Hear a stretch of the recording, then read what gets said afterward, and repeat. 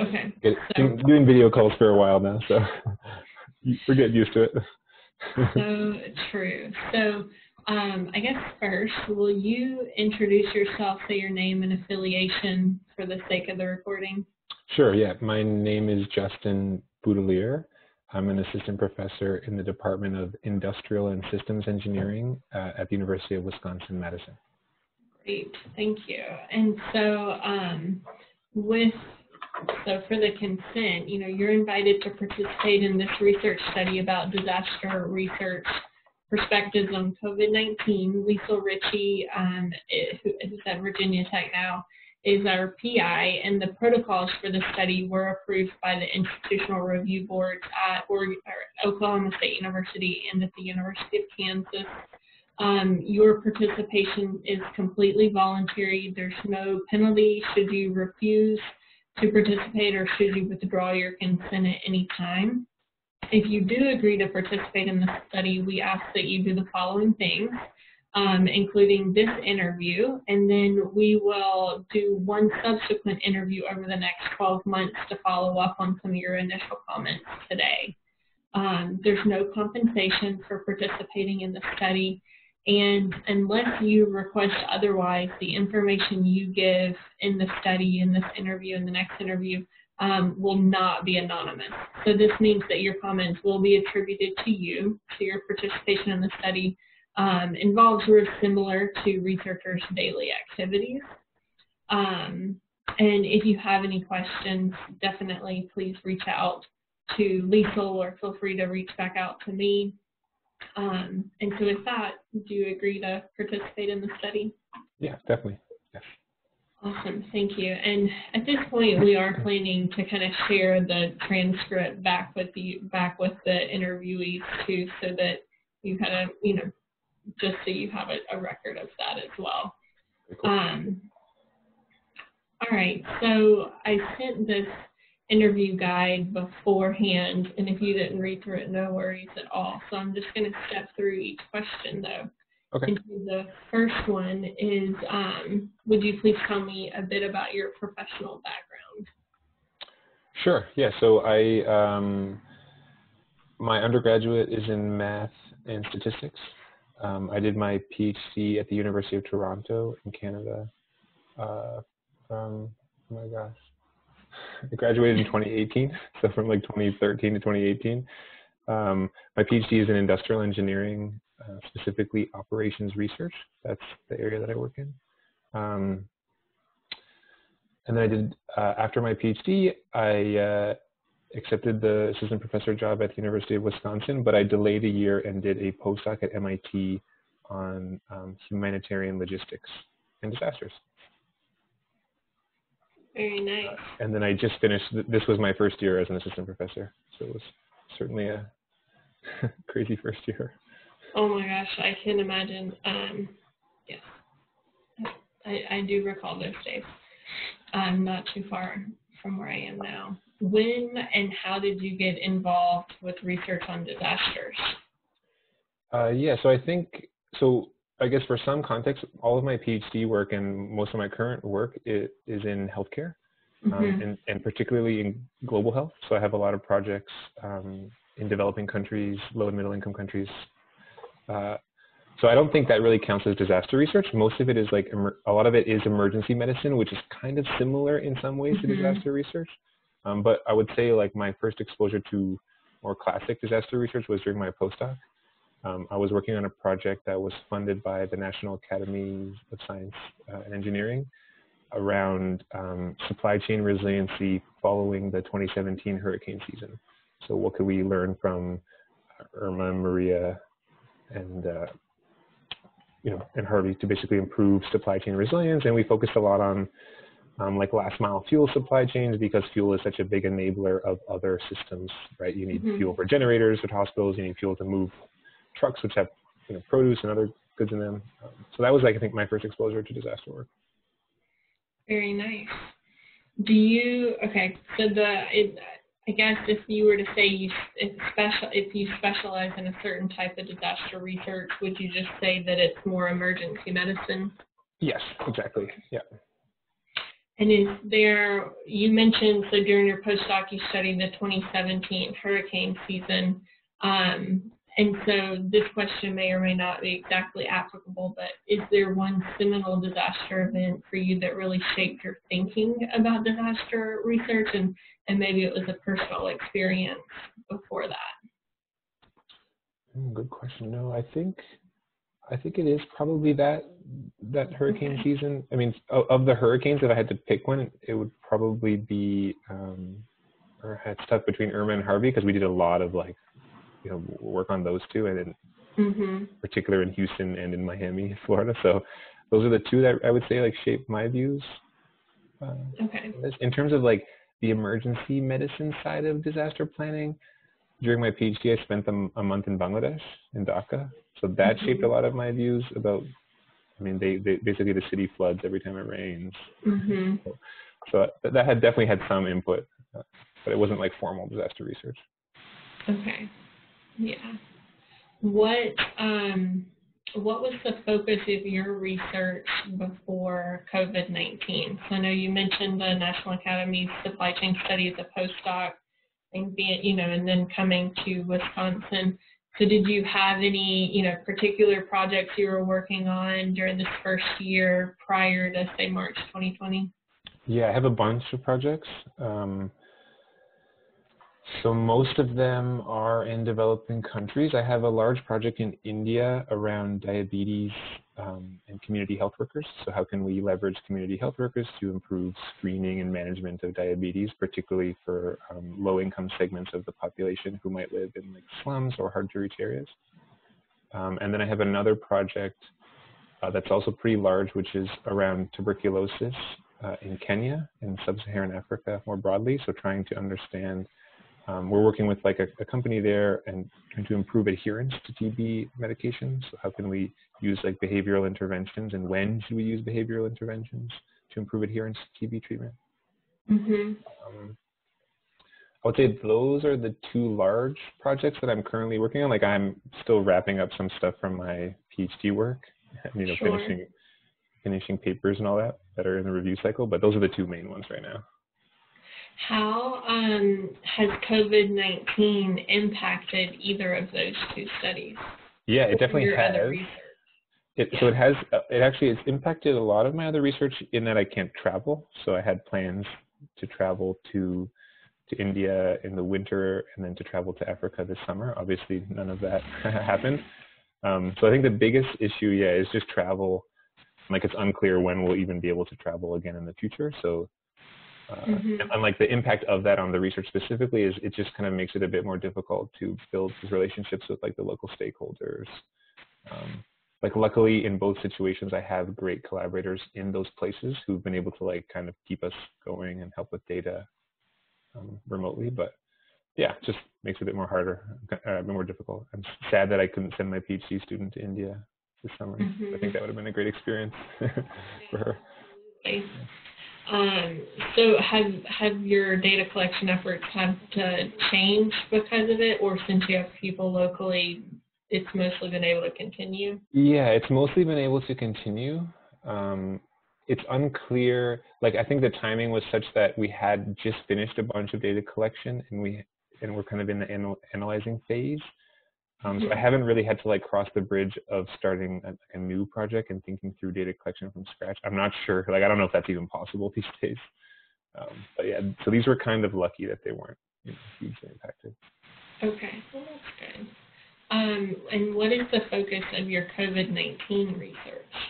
Yes, so I have two COVID projects. Uh, the main one is around PPE supply chains. So uh, this project started in March and it's funded by NSF Rapid. Um, we we designed a website and an algorithm that matches um, manufacturers of PPE with facilities or organizations who need them. So the, there's a mm-hmm. website, shield-net.org, uh, and you can go on there and either if you're a manufacturer, you can input information um, such as like how much you produce per day, lead times, how much it costs, organizations can put requests in the system, and then we have an algorithm in the backend that does matching. Um, we try to match uh, requests with demand in a fair way. Fair meaning you know, we're trying to spread around the supply. We're not trying to favor any particular people. We're trying to make matches that are local because we kind of noticed that local matches seem more successful. So it's all around like yeah, PPE procurement, which was a huge issue back in March when the pandemic sort of really started. There was, I'm sure you saw like limited face shields, gloves, masks, mm-hmm. and everything basically. Um, mm-hmm. So we had a lot of uh, interest early on. I think we've matched somewhere on the order of like 2 million face shields. Um, this, this, project was birthed out of the Badger Shield um, project from UW. So the Badger Shield was like an open source face shield design that UW came up with in early March. Uh, and then we got involved because the scale just kind of got too large and you know the number of organizations who wanted them. Uh, yeah, and then we kind of they went through like a bit of a lull, and now it's on the uptick again. so it seems that requests are coming back again. Mm-hmm. So that's the main project. In terms of like the research angle, so I think that the project has two angles, right? It's very like sort of we're trying to solve a real problem, but we're also trying to study um, what we're calling these pop-up supply chains. So many, because face shields in particular are a very simple thing to create. It's not like a ventilator or N95 mask, for example. Almost mm-hmm. anyone can make them if you have, mm-hmm. you know, some manufacturing equipment. It could be as simple as like scissors and plastic, but it could be as complicated as large scale like cutters, right, and, and, and manufacturing plants. And so this has kind of caused like a bunch of industries to pivot into this area. And that there's a disconnect because many of the medical facilities or organizations who need them aren't aware because those aren't typical producers of this product. And so that's where like we tried to fill the gap of, you know, many organizations, especially like some of the ones here in Wisconsin, you know, have switched into producing this PPE and they didn't really know how to get like how to connect with hospitals who needed them. So that's kind of what we're trying to study is like how well did this work? Does it have a role in like future disasters or future pandemics? Mm-hmm. You know, what what's a successful match? How can we make this more efficient?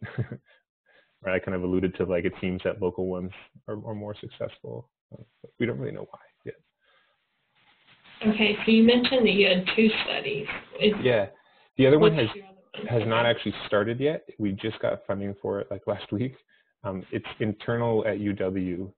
Uh, it's around, so UW has like a current COVID dashboard. So UW Health, I'm speaking of like the medical side of the university and the hospital. They have a dashboard that sort of um, allows them to understand operationally where there are where they are. So you know, for example, like the number of beds free and all that kind of stuff. Uh, and we're it's a collaboration with medical folks to try to use like machine learning techniques to try to basically figure out what metrics we should be looking at um, to forecast like an uptick in cases or to forecast something that's going to affect the operations of UW. Um, so like, for example, you know, if, if we see an uptick in cases, should we expect, you know, a large influx of new patients? Should we clear beds? Uh, do we need to like, you know, do things like that? So yeah, it's it's kind of vague because it just it hasn't even really started yet. um, okay, so then the I guess the goals of that one then is really just to help inform kind of the UW Med Center like in in real time. Yes, exactly. Yeah, exactly. And I think we have like, I mean, there's definitely some longer term goals around, like, we're going to do some testing in one of UW's satellite clinics in northern Wisconsin, which has like a very different population. You know, we in, there's hopes that we could turn this into a larger grant in the direction of like of like surveillance, basically like sentinel surveillance, which is in public health. It's this notion of you monitor hospitals for cases, and then if you see sort of something weird in quotes that could suggest an outbreak is coming.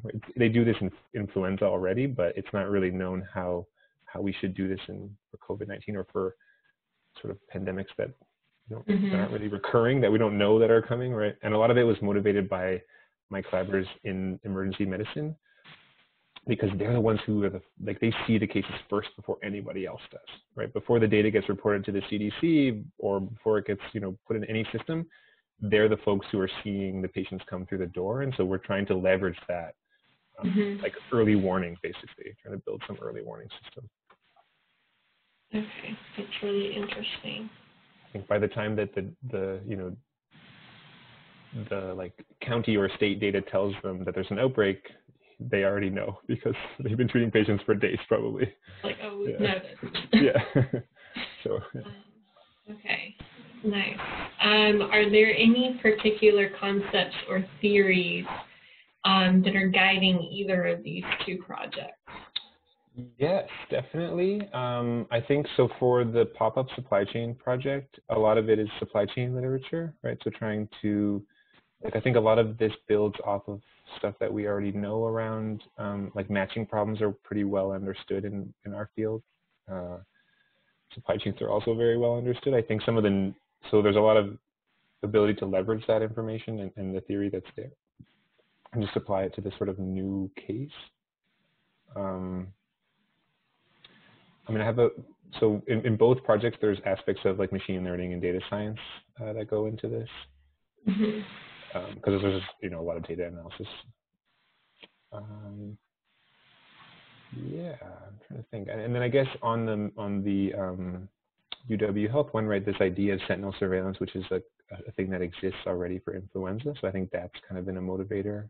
Can we design one of these uh, surveillance systems for COVID-19 type disaster, sort of adapt some of those uh, theories. Have you applied, I mean, I guess you had talked about in your postdoc, you did the National Academy's project on supply chain resilience. Mm-hmm. So the question is, are there, um, or how, how has this been adapted from any of your prior work? So you've definitely had some familiar, familiar uh, some experience with um, supply chains, but otherwise, yeah, definitely. So I think, uh, so I mean, a lot of my prior work does sort of machine learning and this type of data work in general. So I think that's pretty um, comfortable for me. Um, mm-hmm. I think the the MIT postdoc actually that work has influence on both of these projects. So I think the supply chain one is pretty obvious, uh, mm-hmm. right? I mean, my prior work in healthcare kind of leans into both of them as well. Like I'm familiar with the healthcare space. I understand sort of like how it works and you know what goes on.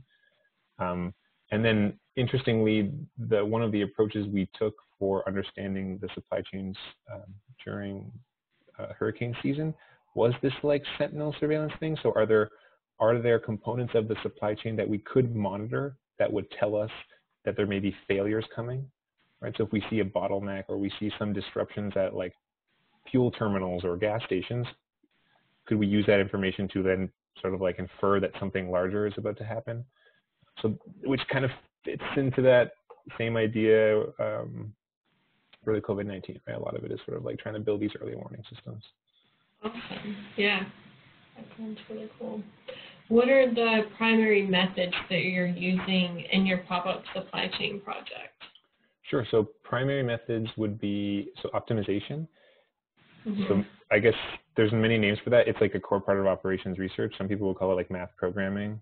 Mm-hmm it, and I know that there's some civil folks that do this, so I'm not sure if you're familiar or not, but.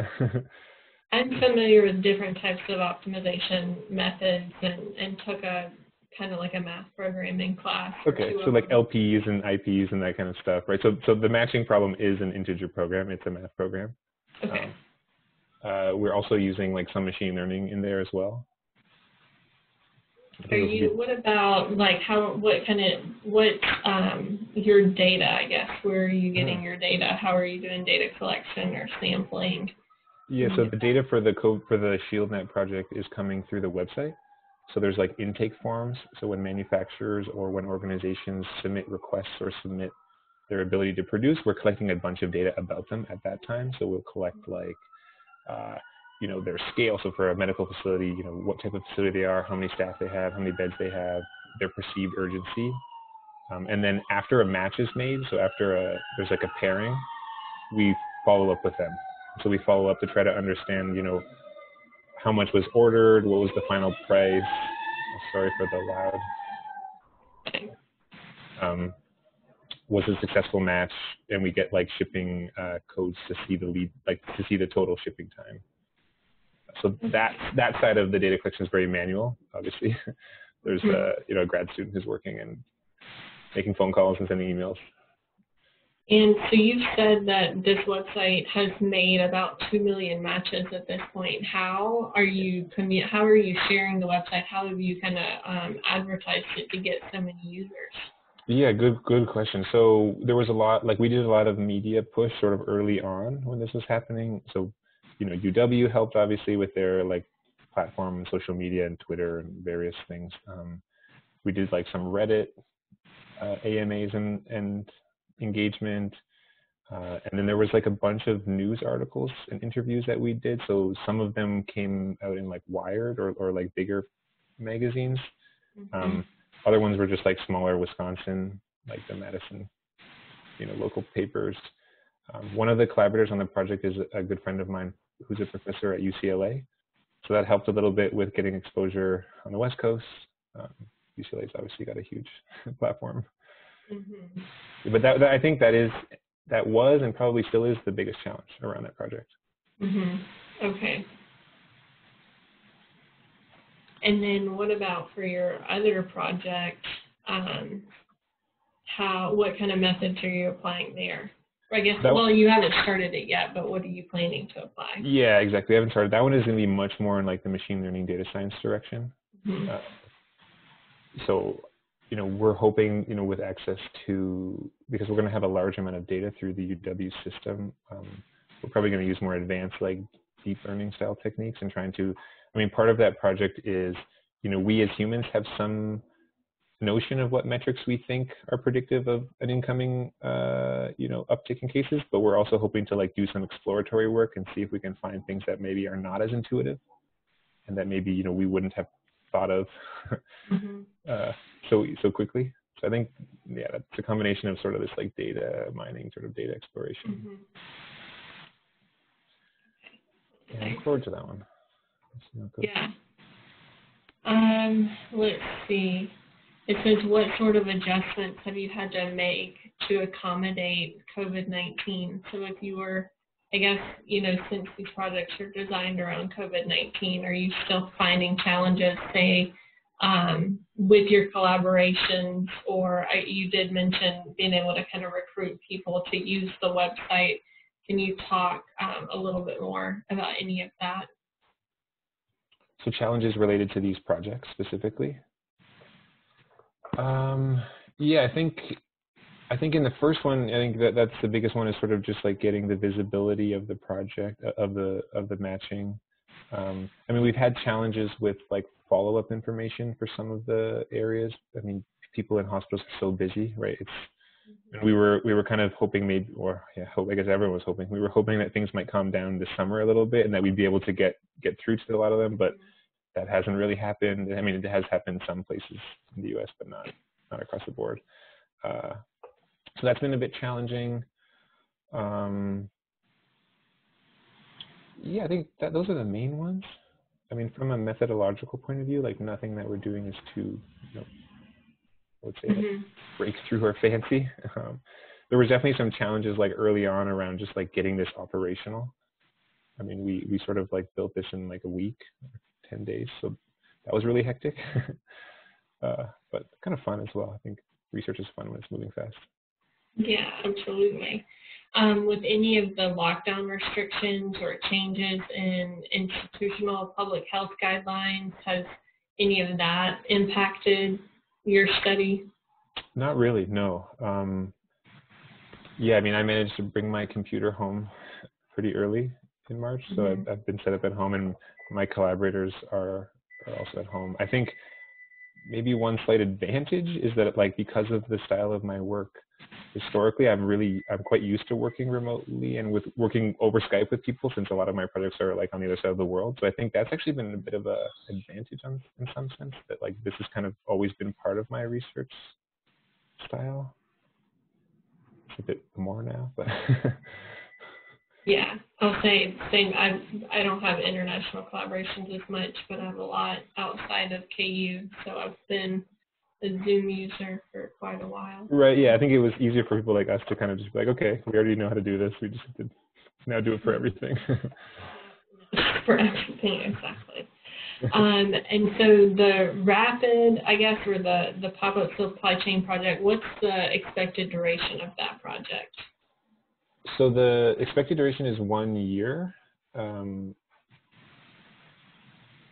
it could, I suppose, go on longer. I mean, uh, it's really hard to say like how you know how the pandemic will develop. The, the original objective was one year. Um, I think it's possible that we could apply for further funding, you know, more theoretically based on what we learn from that project, right? If we learn that there's opportunity to put more thought into how we, you know, do these matchings or how we should you know, try to design this pop-up supply chain, I, I, could see more work coming from it. But yeah, for mm-hmm. now, just one year.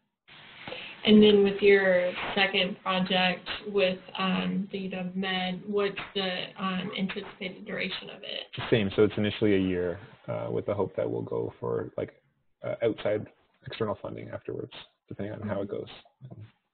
Okay. And um, I know you've mentioned a collaborator on the West Coast for the supply chain project. Mm-hmm. Um, in addition to that person, are you collaborating with others on that project?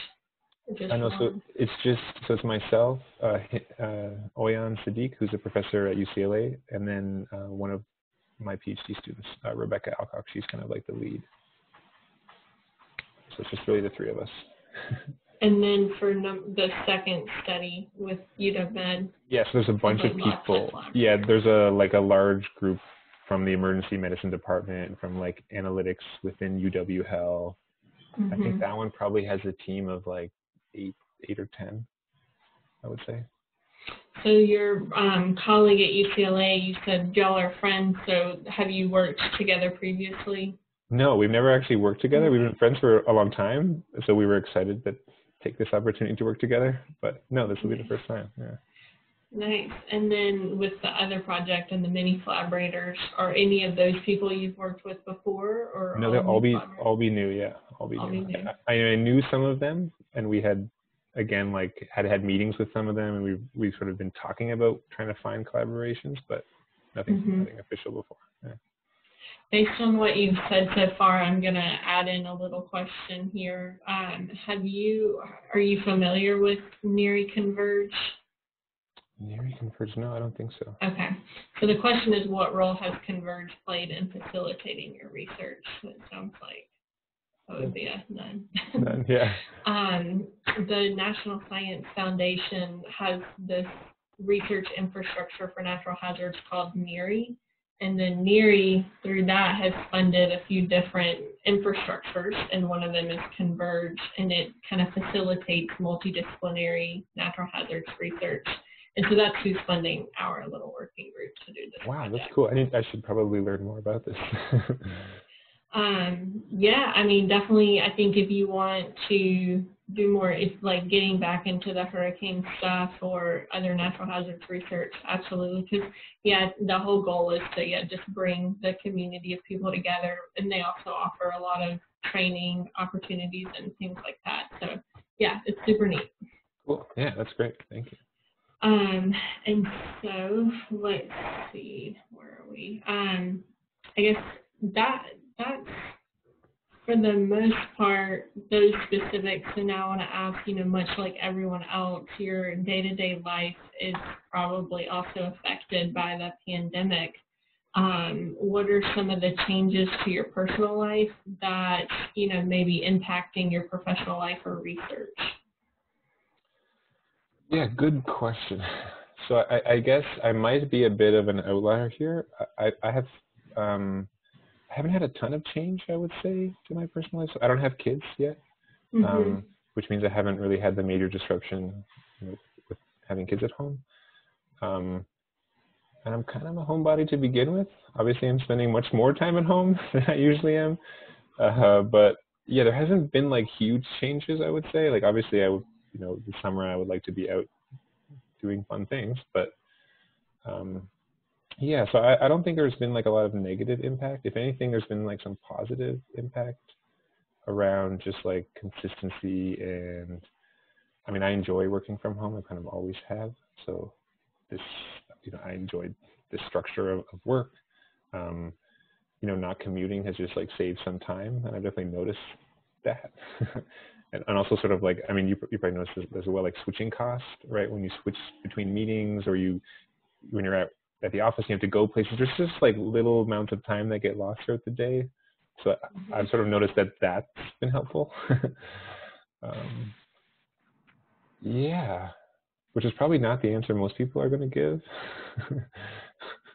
I mean, no, I think that's fantastic. Frankly, I think that there's a dichotomy, and I would I'm I'm basically in the same situation as you.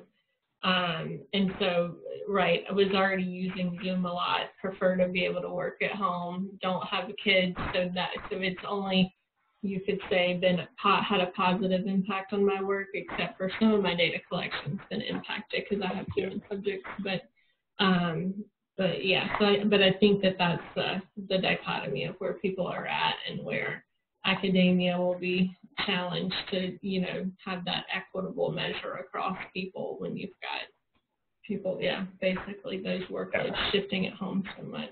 And right, like I think as you probably see, like I was also kind of lucky that I was able to jump on some of these projects early on. So it's, it's probably in that way helped my research portfolio. I mean, I got a mm-hmm. rapid grant in my first year, which I think is really great. So I mm-hmm. think, yeah, I think you're totally right. Like depending on like who you are and the position that you're in, yeah, I could, I could, I could see this being much worse. Yes. All right. Last question, and we're doing great on time. And so, to date, what have been the consequences, if any, of the Black Lives Matter demonstrations following the killing of George Floyd on you and on your research? So, on my research, probably not much. Uh, at least none that I've noticed immediately. Um, on me, I would say nothing really like directly. Obviously, like I, you know, have spent more time on thinking of this and discussing this with people, and you know, what can we do as researchers? Um, yeah, other than maybe like mental health mm-hmm. implications of just like the current climate and, and where we are. I think that's the negative impact, but like on just like personal. Mm-hmm. Uh, yeah, I think that's probably it. Yeah. But I think, um, yeah, that's really very real and felt by a lot of people too. Yeah. Yeah. It just kind of, yeah, I would say like definitely just a bit more down on things. Mm-hmm. uh, I mean, the pandemic doesn't help with that. And 2020 yeah. has been a, a ride so far. Yeah. Yeah. Well, that's the last of my questions. Um, I really appreciate you taking the time to talk with me today. Um, so yeah, they teamed me up with more of the engineers, and so, cool. um, some so some of the some of them their interviews are lasting like 90 minutes, and I'm like, no, I've got the efficient engineers. yeah, yeah. Go through the question. Wow, 90 minutes. Maybe I should have told more stories. um, I mean, if there is anything else you'd like to add, um, definitely please feel free to add it. I don't think so. No, I, okay. I don't think so. And if anything comes up, you know, like I, I, mentioned in the beginning, I'll reach out sometime over the next year to follow up to see how your projects are going and, and maybe some of the other comments that you shared. Um, in that time or in between that time, if you know you have anything you'd like to share with me about your work or otherwise, um, please feel free to do so.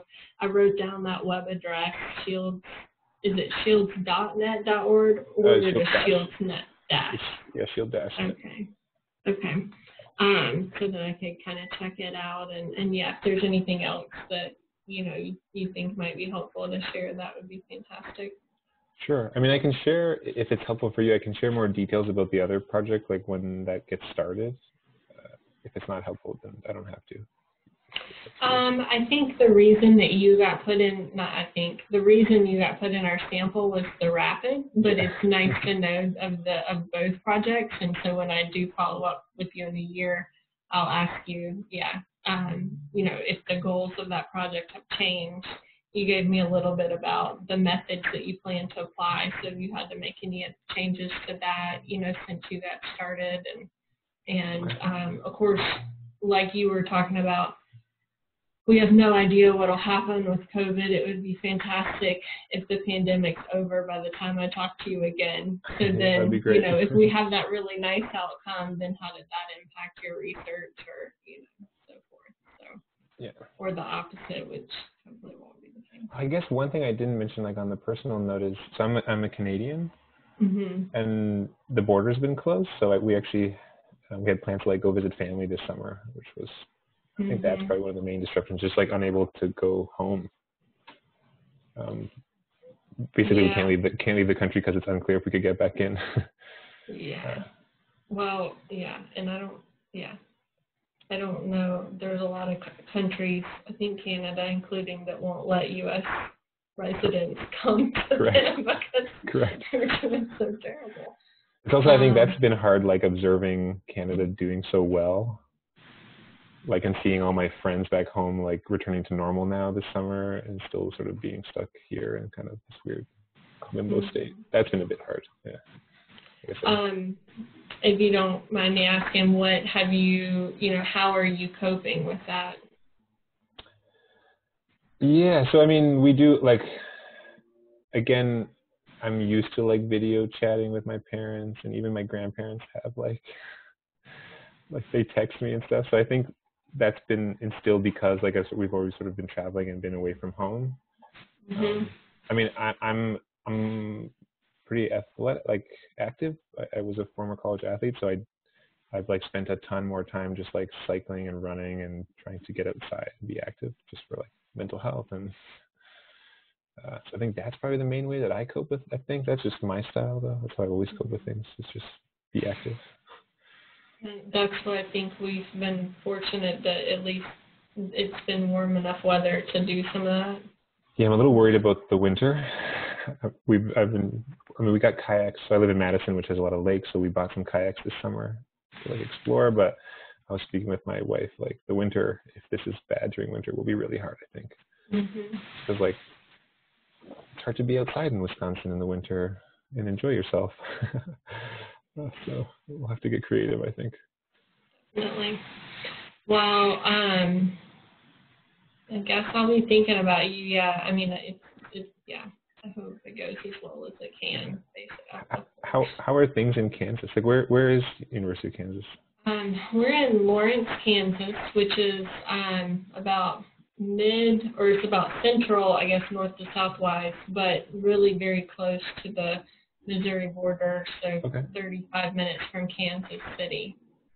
Um, 35 to 55 minutes, depending on where, which side, what you're going to. Um, in Lawrence, it's and so it's about 80,000 people, and the university is 25,000, and so um, KU was really good, and even Kansas was really good back in March.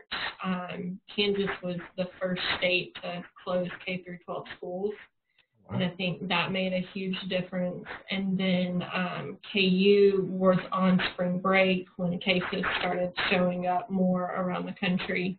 And so they extended their spring break and then didn't return to campus. And so I think it was both of those two actions that we had really low counts through May, um, like not even exceeding 100. Um, and had only have ever had, I think, two in the hospital at any given time. And, and that's even across the whole county of Douglas County, not just Lawrence. Um, but then in June, they relaxed some of the restrictions. They opened the bars back up, and immediately we saw a spike. And Same happened here. Yeah, and so um, active cases we're a little over 200 right now, but we've had over 400 cases, so that just Yeah. went. And so now we've closed a lot of things back down, but um, and so you know the hospital still I think maybe had four at one point, but maybe even it was never actually four. I can't remember if it it, it might have only still been two at the hospital. So still managed to keep things really low, but it's definitely created some um, different expectations and, and paths of thinking about K through 12 school return, KU's return to campus, and things like that, because we got a little teaser of what that's probably going to be look like. Yeah, Um, I think a lot of college towns saw this same thing happen, right? They opened the bars and everybody kind of went out, and then there was this huge, like, two week uptick. Yep, yep. Is it coming down now? Like, we're ours is on the down decline again, sort of after that. It is coming down, and so that's where, yeah, it is coming back down. Um, and I haven't checked. It's probably been a week since I've checked the case count um, to know exactly where it is. Because over a week, I think it can change pretty significantly. Um, so, but it but it was coming down, and so yeah, and so they've Lawrence has isn't going to start in person K through 12 till after Labor Day, so they've delayed that about two or so weeks, and they just kind of made that decision this week. KU is doing a hybrid, you know, so some on in person, some online in the fall. So anyways, we'll see. We'll see how it did. We've got a couple of weeks, maybe three weeks till KU starts back, and about four or five till the K through 12 schools start back. So See we'll where see. we are, I guess. Yeah. I'm hopeful, but Yeah. I'm also going to be online teaching in the fall, so I'm hopeful from a distance. Did you do online in the spring as well? I switched to online. Like halfway, yeah, same. hmm Yeah, I'm not. I don't really love online teaching. hmm I enjoy like being there in front of the class. It's harder online. Definitely, I would agree. The research at home is great. Teaching at home is, I mean, great. it's, fine, but right as far as like feeling like you're an excellent teacher or you've got that connection with the it's a connection, yeah. Yeah. Because it's hard to do video with a larger class, and you sort of feel like you're just like teaching against to a wall, right? Mm-hmm. Yeah, you don't get that feedback. Mhm. Yeah, yeah. And it was I did pre-recorded lectures and just had six grad students in the spring. Um, and so we'll do real time or like yeah, real time Zoom lectures with about 45 students in the fall. So it'll it'll kind of it'll be a very Yeah. different Yeah. situation, but I am imagining how that engagement's going to change. Yeah, it's tricky. I found I use Slack. Do you know Slack? Mhm. I use Slack for my class, which I found was really helpful, just to like get more engagement of the students. It, it, it seems like a lot, especially undergrads, are like nervous to email for some weird reason, Mhm. but much less nervous to send a chat on Slack. So that was somewhat helpful. Okay, that's a good tip. Thanks. Yeah. Yeah, I use Slack in my research, and I definitely think you're right that the undergrads in my research tend to go that way, and my grad students will email me. Yeah. So But I, could I was I think we have very similar styles because I was also using it recently. Mhm. cool. All right, well, yeah, I'll let you go, but thank you so much, Justin, for your time, and good luck with the projects and, and everything, and um, and yeah, I'll be in touch. Yeah, good good luck with the study. Let me know if you need anything from me. Thank, Thank you. Okay, bye.